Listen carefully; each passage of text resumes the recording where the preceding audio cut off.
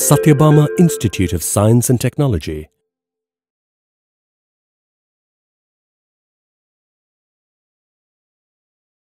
Hello everyone. I am hereby to deliver a presentation about Introduction to Blockchain. This is Asha Judi, working as assistant professor in the Department of Computer Science and Engineering at Sathyabama Institute of Science and Technology.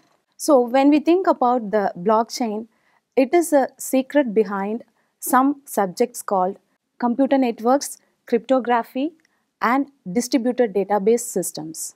So the formula behind this blockchain is computer networks plus cryptography and distributed system which gives the technology new technology called blockchain so let us see how the transaction takes place in blockchain so first of all a transaction has been requested between two parties so that is what someone requesting a transaction here and this transaction made transaction must be shared to all the nodes in the network so this blockchain works as a peer-to-peer network.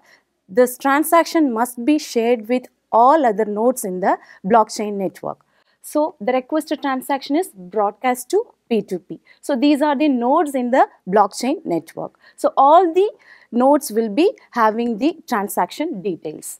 So once the transaction has done, it is being validated by the miners. So miner is nothing but the node which is doing the validation process.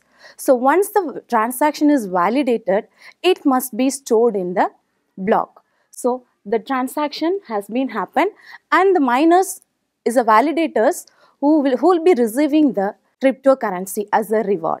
So this cryptocurrency is nothing but it doesn't have any intrinsic value, it doesn't have any physical form.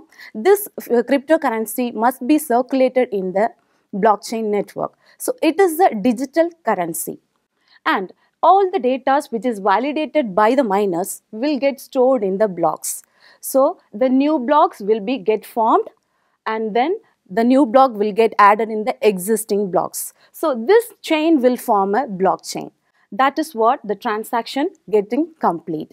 After the validated transaction, the transaction must get stored in the blocks. So what is this block? It is nothing but just like a structure of linked list. What is linked list? Linked list will be having the reference each and every node will be having the reference of the previous nodes. The same way the blockchain will be having the structure of linked list. See here the nodes or the blocks will be linked cryptographically which means the hash of the previous block will be linked to the previous block header. So the each and every blocks will be interlinked cryptographically. All the data stored in this block will be crypto cryptographically secured.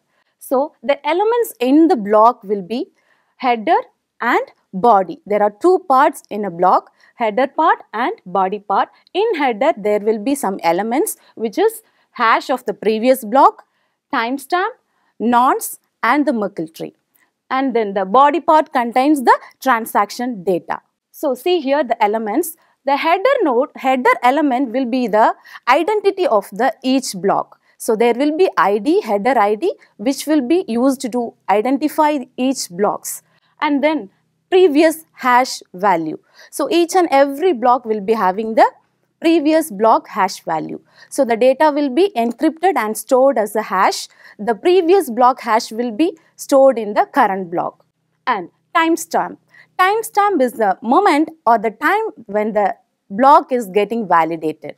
And then nonce. Nonce is nothing but a number used only once, which is a random number generated used to calculate the hash value. And the last one is Merkle root. Merkle root, it is nothing but a data structure which is used to store all the hash values. See the structure of Merkle tree. So the transaction, each and every transaction, here example transaction A, transaction B, C and D. Each and every transaction is encrypted and the hash value of this transaction must be stored here and all these hash values will get combined here HA and HB is combined so it is stored as HAB and here C and D transaction hash value is combined and stored in HCD. So all this together A, B and C, D will get together and in the root node of the Merkle tree all the transaction or the hash value of the transa all transactions will get stored. So that is nothing but Merkle root. So Merkle root is the root node of the Merkle tree which stores all the hash values. And here distributed ledger, so this will play, blockchain will play a major role like uh, distributed ledger technology. Here why it is, so we are comparing the centralized ledger with the distributed ledger. In centralized ledger, there will be a center authority, for example, an financial institution like a bank, bank which holds all the client details. So without the appro approval of bank, the client cannot transfer money. But in blockchain, all the nodes will be play a client role, client and server role. So each and every node will be having the responsibility as a client and a server. So when the node D is request data, the nearby nodes can share the data with the node D. So there will not be any central authority. So that is what it is a distributed ledger. And when we compare the normal database with the blockchain, there is a difference. There will not be any intermediaries. That is what there is no central authority. Without any intermediaries, the blockchain, in blockchain network, we can transfer the money. So, but in traditional transfer, as per the RBI guidelines, the bank has to obey all the guidelines which is uh, given by the RBI and with the appro approval of this financial institution like bank, only we can transfer the money from one person to another person. That is what database uses centralized storage of data, blockchain uses decentralized storage of data and here there will be admin to manage all the database and in blockchain there will not be any administrator to manage. And why it is using cryptography? Because of security, we need to store the data securely. So that is why we are having this cryptography concept.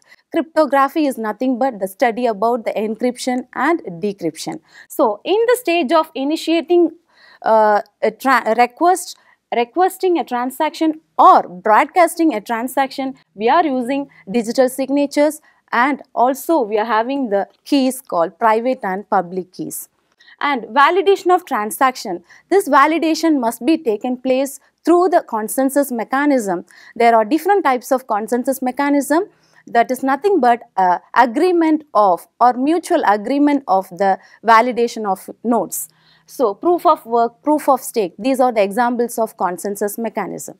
And chaining blocks. So due to this hash function only we are linking the blocks together. That is what hash function.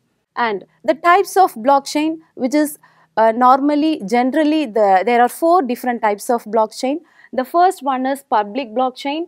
Public blockchain it is a type of blockchain where the permission-less role played. So there are two different categories, permission-less and permission blockchain.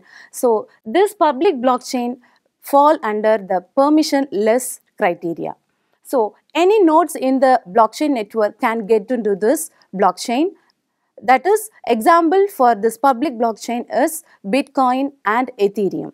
And the next one is private blockchain. Private blockchain falls under the category called permissioned or we can call it as managed blockchain. So there will be a central authority to control all the nodes. So with the permission of this authority only, the nodes can enter into the private blockchain.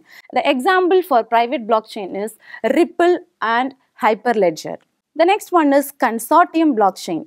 Consortium is nothing but the group of organizations. When the number of n number of companies or organizations coming together and they are forming a blockchain network means that that will comes under this consortium. So this is also a kind of permissioned blockchain. And the next one is hybrid blockchain, which is a combination of private and public blockchain. So this will be having the features of both permissioned and permissionless. So this is a pictorial diagram of the types of blockchain. So here it is the permissionless and here it is the permission. That is the major category.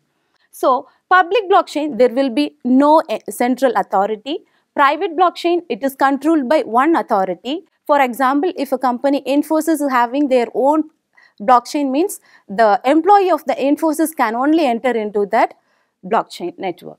Right. The hybrid, it is the combination of both public and private. So, controlled by one authority and it will be having some permission-less features also. And consortium, which is a group of organizations blockchain.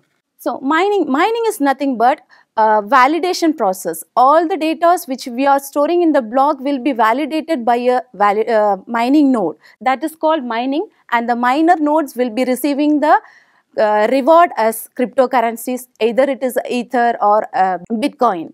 So, the types of minings, individual mining, pool mining and cloud mining. Individual is nothing but a single person doing the mining process and pool mining which is a team of people will be doing together the mining and then the cloud mining without any physical equipments there will be a mining rig to mine all the blocks. So, without any physical hardware and software components, we can able to do the mining from the cloud. So, cloud will be providing all the things which we want to mine, right. With cloud mining, we can eliminate the need for computer hardware and software. So, the use cases of blockchain is we can uh, do the transaction in the form of cryptocurrencies and supply chain management where we can verify and track the goods details. And healthcare we can preserve the patient's health records. And decentralized finance the financial things can be happened in decentralized manner in blockchain. That is nothing but defi.